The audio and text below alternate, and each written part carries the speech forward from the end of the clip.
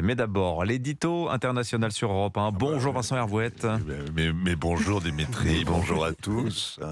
Joseph Borrell, le chef de la diplomatie européenne, devait se rendre en Chine la semaine prochaine. Ah, mais Pékin vient d'annuler sa visite. Il est prié de proposer d'autres dates et il n'y a même pas de raison officielle. hein. Oui, alors, il y a des métiers pénibles et diplomate ne fait pas partie de la liste officielle et surtout pas euh, chef de la diplomatie européenne. C'est un train de vie de l'or anglais, sans le souci de se faire réélire puisqu'on est nommé pour 5 ans. Et puis, incarner la politique étrangère des 27 pays de l'Union est une mission tellement impossible que personne ne peut vous reprocher d'avoir échoué. Bref, il ne faut pas plaindre.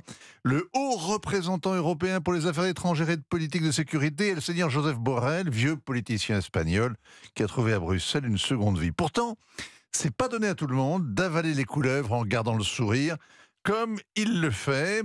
Et Son titre euh, haut représentant est aussi long que son autorité est limitée et il sert aujourd'hui de paillasson aux Chinois.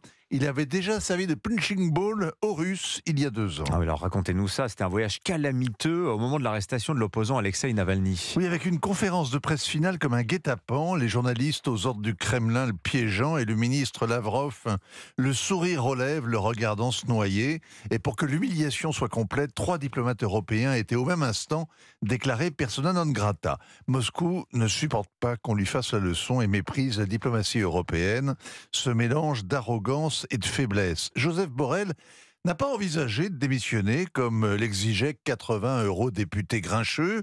C'est dans sa nature. Il était autrefois dans une vie antérieure ingénieur aéronautique. Euh, Il est maintenant haut représentant.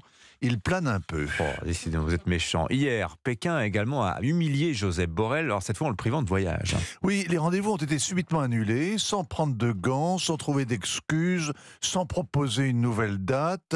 Ses interlocuteurs ont mieux à faire. Restez chez vous, on vous écrira. Alors c'est d'autant plus choquant que Borrell est pétri de bonnes intentions. Il avait félicité le président Xi d'avoir téléphoné au président Zelensky. Il dit tout le temps que c'est le seul qui ait de l'influence sur Vladimir Poutine. Et c'est pour ça d'ailleurs qu'il tenait à venir à Pékin. Alors en fait, les Chinois sont mécontents des mesures prises par l'Europe pour euh, réduire sa dépendance économique et les risques pesant sur sa Ben, sécurité. il voit bien que les Européens dépendent de plus en plus de leur allié américain qui veut contrôler les exportations, notamment de semi-conducteurs. Désormais, la sécurité doit passer avant le commerce. Or, l'Union européenne ne risque pas de résister à Washington et surtout pas Joseph Borrell. Avec la guerre en Ukraine, le premier diplomate se croit devenu le ministre de la Défense de l'Europe, pour ne pas dire le ministre de la guerre. La crise est une divine surprise qui unit les Européens, qui renforce le temps et la relation transatlantique. Quand il avait été nommé, Borrell disait que tout son boulot serait de se positionner entre les États-Unis, la Chine, la Russie, afin de ne pas se retrouver coincé entre ces puissances. Eh bien, c'est fait, il est coincé. Les Chinois l'ont déclaré hors jeu. Il leur sert de tête à claque. Et quand ils discutent, c'est avec Washington, pas avec la succursale du quartier Robert Schuman à Bruxelles. Signature européen très acide ce matin, signé Vincent Hervouette. Oui, Vous avez bien dormi Vincent, ça s'entend.